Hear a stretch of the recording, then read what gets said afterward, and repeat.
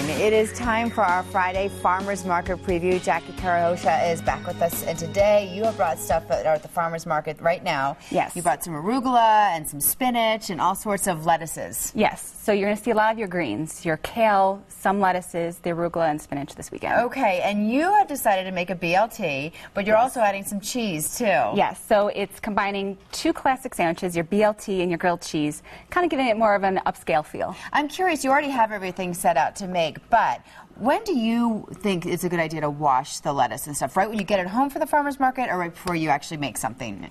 You want to wash it right when you are going to make something. Okay. It gives it a little longer storage life. Oh, And when you wash it, you want to make sure you just run it under cold water and get rid of any of that sand and grit. Okay, and you got these at a farmer's market? I did get the spinach at the farmer's market, Okay, and I know nice. a lot of the arugula you'll find up more in the Longmont and Boulder area. Okay, so tell me about your version of this BLT. Yes. You have two different cheeses. Two different cheeses.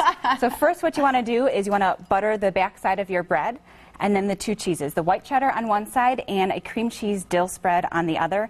And I have used fresh dill. I just find the smell so intoxicating that Yeah. I thought it'd give it a bright flavor. And what you're going to do is place it on your grill. Mm-hmm. I prefer grilling outside whenever possible. You But grill your BLTs on the grill outside? Yes, Oh, okay. you can do this outside. Okay. Amazing. Two to three minutes until you see the grill marks underneath. Yeah. And you're going to see that white cheddar start to melt. Okay. Pull them right off, All right. and you're going to build your sandwich. You can pick and choose here. Have fun with your bacon choice and your lettuce choice. I like to prosciutto, too. prosciutto and bacon. I like to pair the more smoky bacon with the mild spinach flavor. Whereas if you're going to go with the arugula, which has more of a peppery mustard flavor, I like the, the more mild prosciutto to Oh, go with that. Okay, that's a good idea.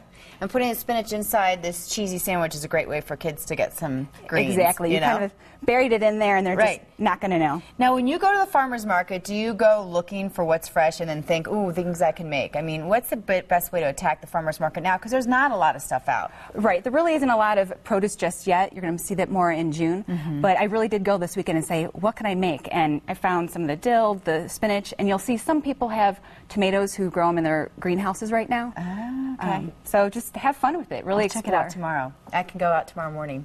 Thanks for coming in. No Um, if you're curious about the recipe and what to pair with what to make a really good BLT sandwich this weekend, go to our website because you're nice enough, Jackie, to write the recipes for us on our morning show page. So thank Yes. you for coming in. Thank you, Gary. Doesn't this look good? A little You know- bacon in the morning? You know what? It's my two favorite sandwiches, and I never thought of putting them together. Yeah. That is genius.